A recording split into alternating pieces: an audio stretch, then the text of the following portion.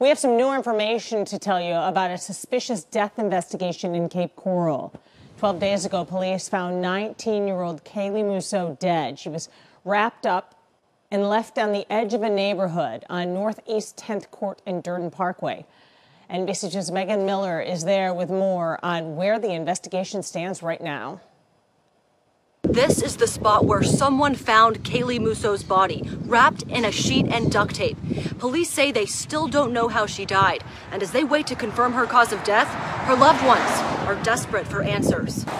On both sides of this road, memorials for Kaylee have been growing. She was the sweetest girl. There's no reason for this to happen to her. Sean Galvin says Kaylee was in a relationship with her son and she had been staying with their family. We're having a hard time. You know, you sit here and all of her things are still in the room, and you expect her to walk back out of the bedroom or come have dinner, and she's not there.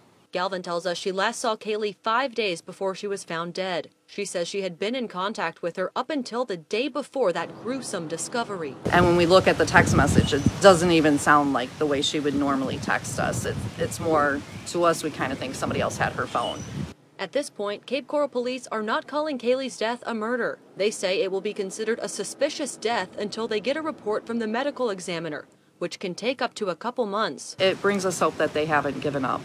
CCPD confirms they have persons of interest in the case, but they say no one is in custody right now. What happened? That's the big thing. What happened? Who had a part of it? And why? Galvin believes someone knows something and if you do, she is begging you to come forward. To me, wrapped in a sheet, that's personal. You know, how can you just leave somebody in a sheet? I, even if it was an accident, come forward.